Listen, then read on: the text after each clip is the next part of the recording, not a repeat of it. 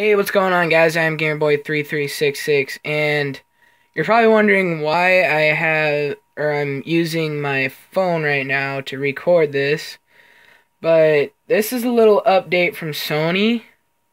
See, this is the latest Batman video right here, 40 minutes long, 3 seconds, whatever, 40 minutes, same thing, and I'm going to try and upload this. on. Upload to YouTube. Oh crap.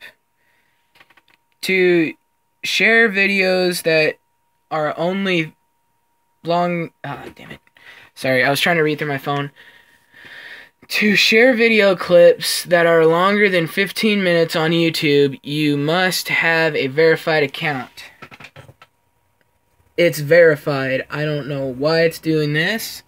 See, and then I'm going to try and verify it through here. Hold on. I have to put in my stuff. Hold on.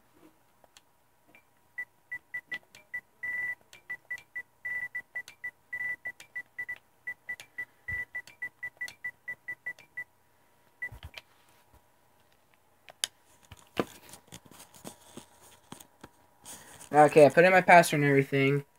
Bam! Your YouTube account ha has already been verified. Okay. So now I'm going to go all the way back. Go to my capture gallery. Go to this and go back to this video. See, and it's all good and everything. Running smoothly upload to YouTube. Bam. A big FU from Sony. I don't know why it's doing this. It's probably not Sony's fault, but the new update is all screwed up. So, probably Sony won't watch this, so I doubt they'll try and fix it.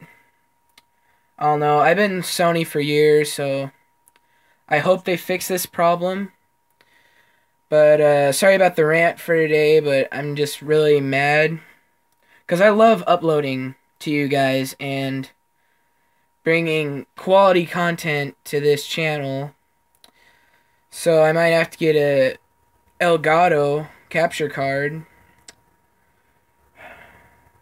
instead of uploading through this, but in the meantime, I will keep you updated on these weird vlog things, but drop a like, leave a comment, and welcome to the revolution.